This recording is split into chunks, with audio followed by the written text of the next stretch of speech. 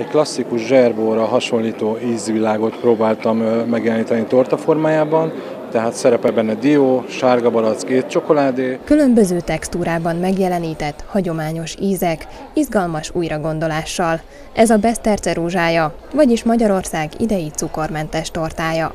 Az első helyezést elért barackos alkotást a cukorbetegek is bátran fogyaszthatják, és a minőségi hozzávalók harmonikus kavalkádja garantáltan rabul ejti az édes szájúakat. Ugyancsak Füredi Krisztián főcukrász alkotta a másik győztes tortát is, amit az egy a természettel alkategóriában értékelt a legjobbnak a zsűri. Ez a különleges, erdeinkben felelhető alapanyagokból álló desszert Nimród. Az volt a lényeg, hogy erdeinkben és mezeinkben előforduló gyümölcsöket kellett felhasználni, úgyhogy én ebből több fajtát is választottam.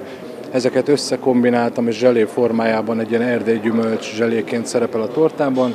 Azon kívül van benne szintén dió, van benne fahéj, kakaó, vanília és gesztenye, és a gesztenyét viszont a vadászok italával, a Szent Hubertusszal bolondítottam meg egy kicsit. Az ipartestület a vadászati és természeti világkiállítás tiszteletére rendezte meg a Magyarország tortája alkategóriás versenyét, hogy felhívja a figyelmet a magyar vadászkultúrára, a természettel való együttélésre. Nimród kivételességét az adja, hogy ha az ember megkóstolja, szinte táncot járnak az ízek a szájában, tette hozzá Füredi Krisztián.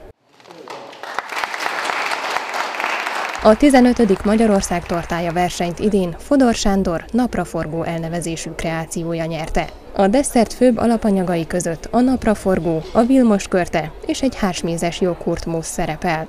Ennek elkészítése nem bonyolult, mégis igényel némi cukrász tehetséget, mondta el Fodor Sándor. Mondjuk a napraforgó magpirítása azon sok múlik, tehát hogy hogy lehet kihozni ezt a karakteres ízt, illetve igen, az alapanyag kiválasztásán, hogy a megadott receptet betartva készítsük.